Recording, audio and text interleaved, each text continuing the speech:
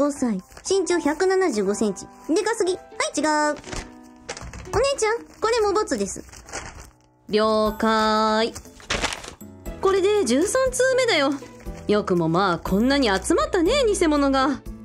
白蓮先生のあのウルトラキュートなお願いポーズがあっても、これだけの数の不届き者ですからね。あれがなかったらどうなってたんでしょう。遭難時のエピソード書いてほしいとまでお願いしてても、こうやっていけシャーシャーと手紙をよこしてくるんだから、こいつらは。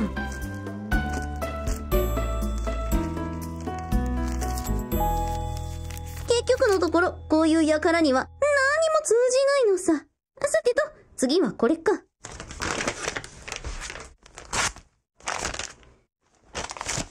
白蓮どうそっちは。全部偽物。かすりもしないのね。やっぱりご本人はあの記事読んでないのかもね。少年雑誌だし。やはり、九州の登山家からの情報が頼みの綱かもしれない。藤沢くん何か情報来てる？残念ながら全くの空振りです。大学のワンゲル部通じて情報収集中ではあるんですが、大学のワンゲル部か。なるほど。全く大学には便利なものがあるものだな。大学ってちょっとした小都市ですもんね。大体の人種は見つかります。はい。ナタリア、お前は警察署でお願いしたんだろ？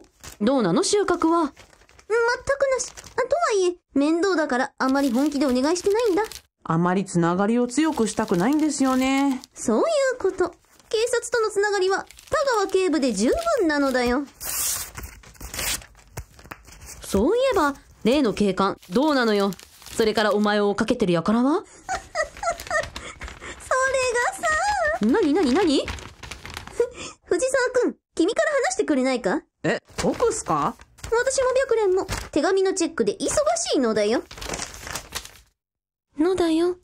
でも、ちゃんと聞いてるのね。了解です。では、進展があったみたいだね。ええまあ、ある意味一件落着と言っていいんじゃないんですかね。え？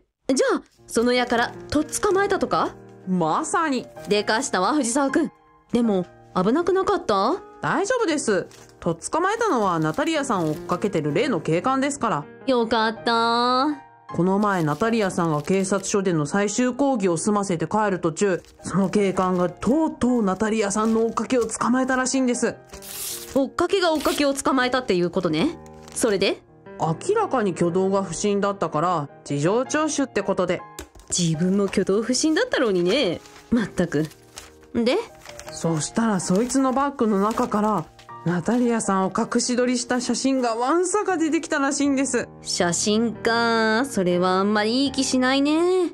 で、その警官、なぜか僕に連絡してきて、その写真野郎に、フィアンセの僕から一言説教してやれって言うんですね。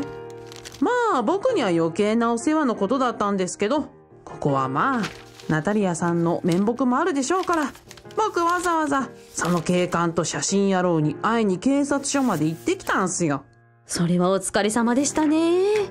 ナタリアはどうしてたの？ナタリアさんは全くそんな取り物があったなんて気づいてませんでした。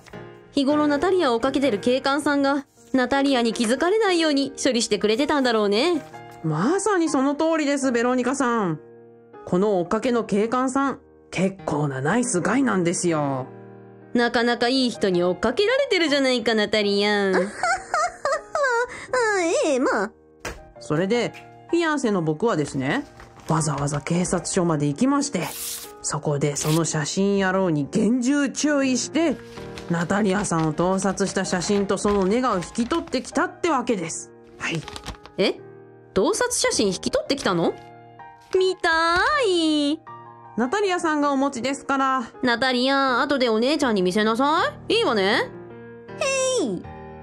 ただ、数こそ多いその盗撮写真ですが、どの写真もナタリアさんへの思いに満ち溢れたような写真です。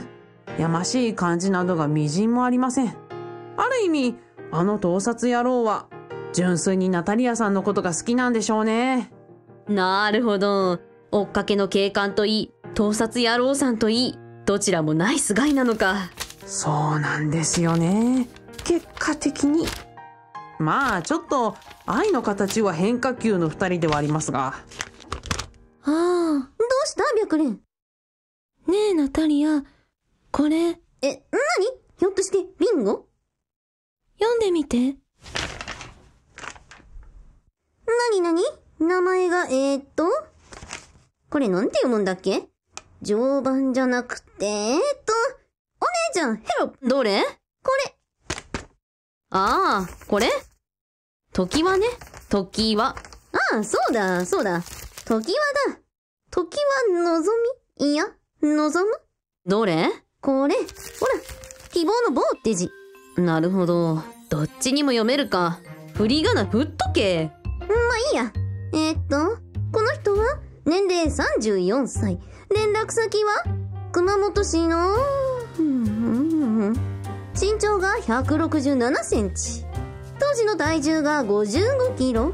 まあまあ、そんなもんかな。